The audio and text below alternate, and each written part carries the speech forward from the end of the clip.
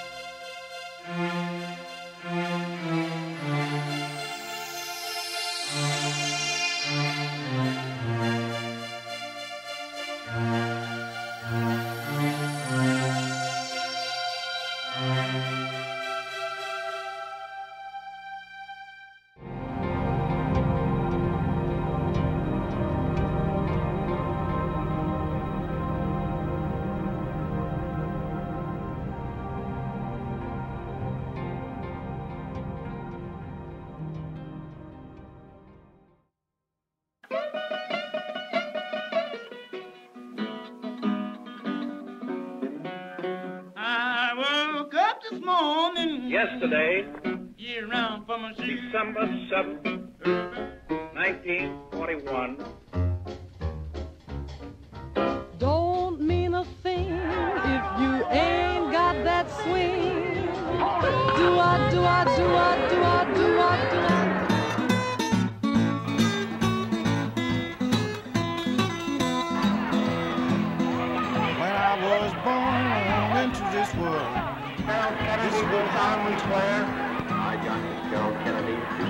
solemnly swear. I do to stand before you, representing the rights and sovereignty of this state and its people.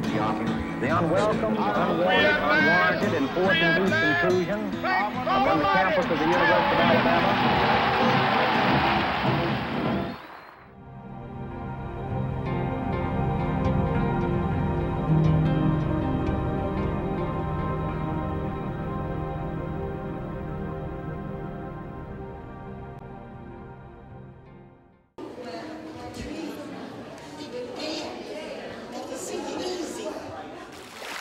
Have you heard about Pompey?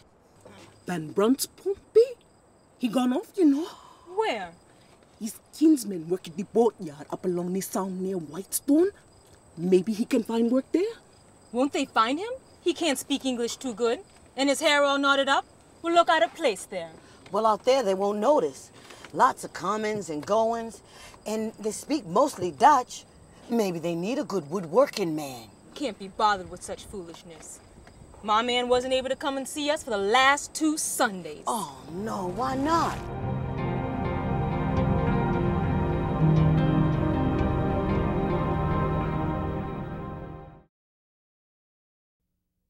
We have a tendency to pay attention to birds. We call them an indicator species because, like human beings, birds are at the top of their food chain, if you will, of the web of food. And the harbor can support these birds because of the benthic, that is, the animals who live in the mud. Sewage was choking our waterways before clean water laws were passed. Aquatic animals need oxygen that is dissolved in water in order to survive. Sewage lowers the dissolved oxygen content of water. If it becomes too low, the water cannot support any animals.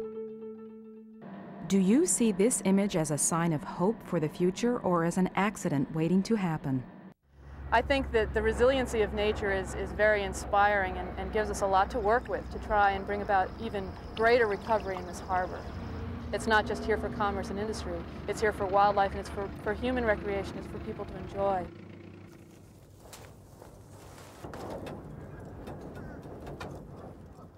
There are things that we don't know too much about yet, but we know that, that they are there and potentially hazardous to the birds, like heavy metals, PCBs, dioxin, and a host of, of very toxic chemicals that are in, in these salt marshes right here.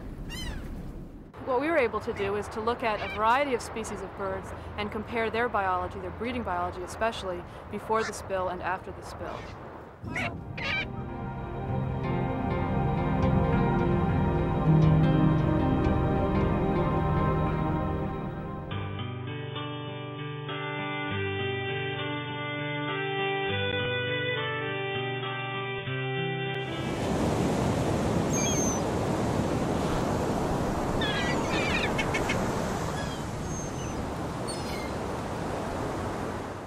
Uh, Galveston Island is a place uh, where um, people have to stop on their way to other Texas ports uh, or into the interior of Galveston Bay to go up uh, Buffalo Bayou. So already by the 1820s uh, and 1830s, uh, Galveston is becoming a natural stopping place for immigrants to Texas.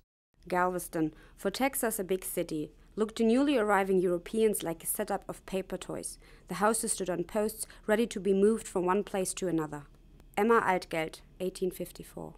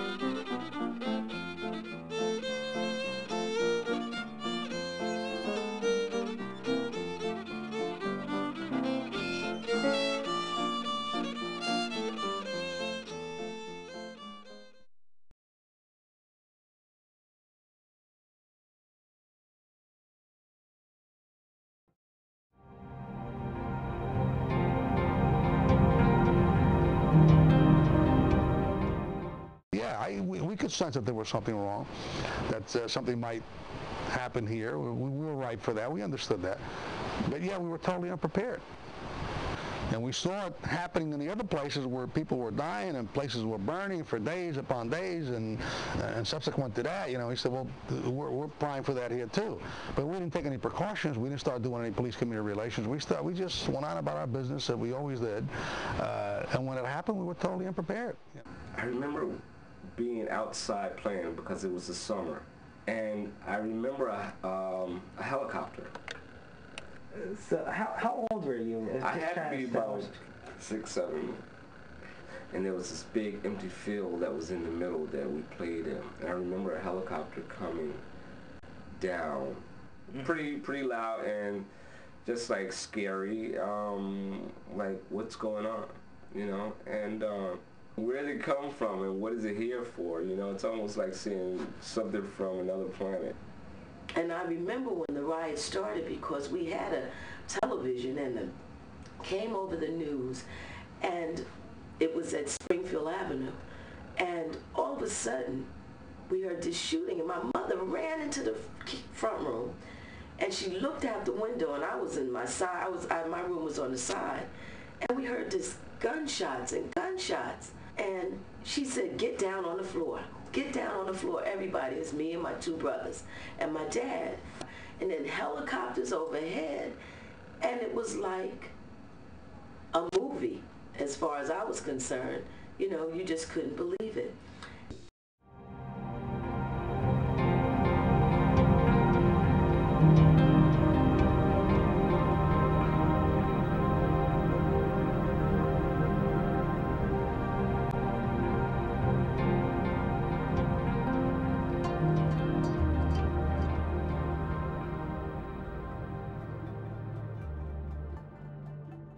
1968 is a tumultuous year.